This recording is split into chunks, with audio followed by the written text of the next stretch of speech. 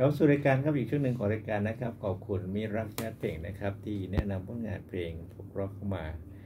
ขอบคุณคุณพี่สุนทรีนะครับ ที่ช่วยกดไลค์กดแชร์นะครับ น้องมุกก็เข้ามาด้วยนะฮะกด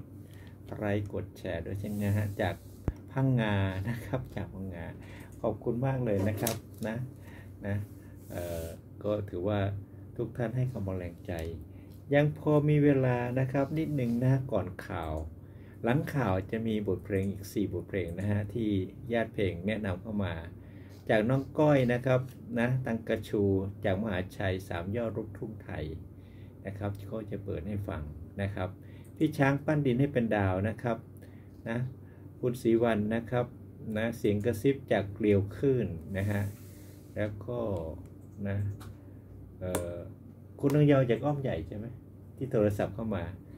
รอคำรักนะครับ ถ้าบอกรอคำรักนี่นะมีคนเดียวที่ขอจำได้เลย ขอบคุณขอบคุณทุกท่านเลยนะฮะที่นะติดตามรายการของทางสถานี วันนี้ขอพูดนะเออเออเกี่ยวกับลำลึกของนักร้องลูกทุ่งนิดหนึ่งนะฮะ โดยเฉพาะวันนี้นะนะวันนี้วันที่ 18 พฤษภาคม วันที่ 18 พฤษภาคมเมื่อพศ 2560 นะครับ นะเป็นการจากไปของนักร้องทุ่งคนหนึ่งนะฮะซึ่งมีชื่อเสียงมากในเมืองไทยนะครับเป็นศิลปินแห่งชาติ คนนั้นก็คือชินกรไกรลาดนะครับ ชินกรไกรลาดนะฮะถือว่าเป็นนักร้องลูกทุ่งนะที่มีชื่อเสียงโด่งดังนะครับนะในยุคที่ผ่านมานะคือเขาจากไปเมื่อปี2560นะครับนะเป็นคนสุโขทัยนะชินราชก็อำเภอ อำเภอกงไกรลาดนะเอาชื่อของอำเภอมาเป็นเป็นชื่อนักร้องนะฮะเป็นนามสกุลของนักร้องนะครับเขาบอกเป็นนักร้องลูกทุ่งประยุกต์นะเพลงพื้นบ้านมาผสมผสานการแสดงดนตรีลูกทุ่งนะมีลักษณะคล้ายๆกับรำตัดนะเพลงฉ่อย เพลงเกี่ยวข้าวเพลงเรือเพลงอีแซลนะครับ ก็ถือว่าเป็นเอกลักษณ์ของลูกทุ่งไทยนะครับ ชินกรแกลาดนะครับ หรือชินนะฮะฝ้ายเทศนะเกิดเมื่อวันที่ 1 เมษายน 2489 เป็นคนจังหวัดสุโขทัยนะฮะสสำเร็จการศึกษาแค่ป .4 เท่านั้นเองนะครับ จากโรงเรียนวัดคลุ้งยางอำเภอกงไกรลาดจังหวัดสุโขทัยนะครับนะแต่ได้รับปริญญาดุษฎีบัณฑิต กิตติมศักดิ์นะจบป .4 นะแต่ได้ ถือว่าดุษฎีบัณฑิตก็ด็อกเตอร์เลยนะฮะกิตติมศักดิ์นะฮะจากการร้องเพลงของเขาเองนะฮะเพราะว่าเขาเป็นศิลปินแห่งชาติด้วยนะครับนะสาขาศิลปะนะฮะศิลปศาสตร์ จากวิทยาลัยครูธนบุรีในสมัยนั้นนะฮะเดี๋ยวนี้วิทยาลัยครูไม่มีนะเดี๋ยวนี้มีแต่สถาสถาบันราชภัฏนะครับ แล้วก็นะเเป็นนักร้องเพลงเชียร์วง นะฮะพร้อมกับเพื่อนรักก็คือทิวสุโขทัย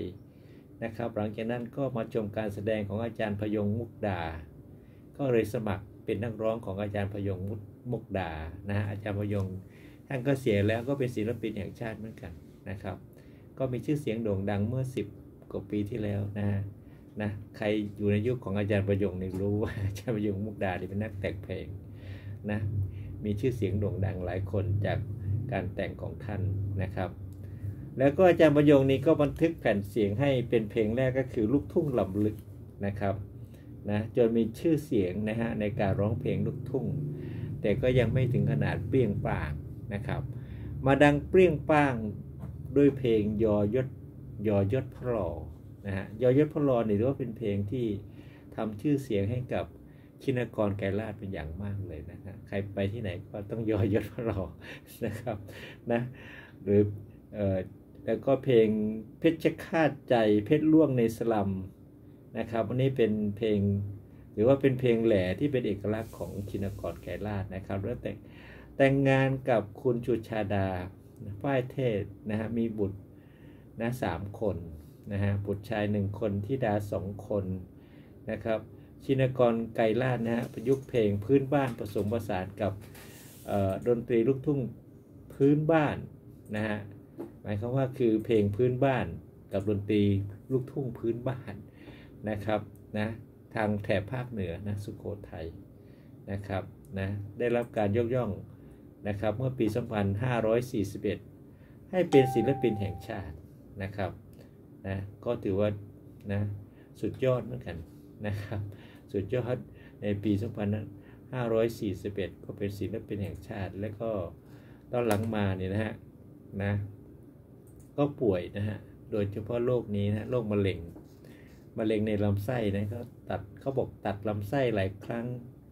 นะครับ จนครั้งหลังสุดนะฮะ เมื่อวันที่ 16 พฤษภาคม 2560 นะ ชินกรแกราชก็อาเจียนนะขึ้นไส้นะเดินไม่ได้นะครับ นะเพราะว่าอาการของของโรคกำเริบนะก็เรามาที่โรงโรงพยาบาลศิริราชนะครับเมื่อเวลา 10นาฬิกา40นาทีของวันที่ 18ก็เสียชีวิตด้วยอาการสงบนะครับ แล้วอายุในขณะนั้น 71 ปีนะครับนะก็บอกสันนิษฐานว่ามาจากเชื้อมะเร็งนะฮะที่ได้รับการรักษาจนหายแล้วนี่นะฮะแล้วก็ลามนะนะ ไปตามร่างกายนะฮะแล้วก็สมเด็จพระเทพท่านก็ไปเสด็จไปในพระราชทานเพลิงศพเมื่อวันที่ 17 ธันวาคม 2560 ที่วัดศรีมหาธาตุนะครับอันนี้ก็เป็นประวัติย่อๆของชินกรไกรลาดนะครับ พอถึงวันไหนที่มีความสำคัญนะฮะกับวงการลูกทุ่ง หรือวงการไหนก็ตามนะ